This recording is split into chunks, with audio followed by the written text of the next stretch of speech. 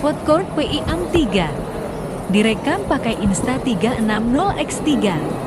Dari salah satu meja tanpa jalan. Tanpa diputar kameranya,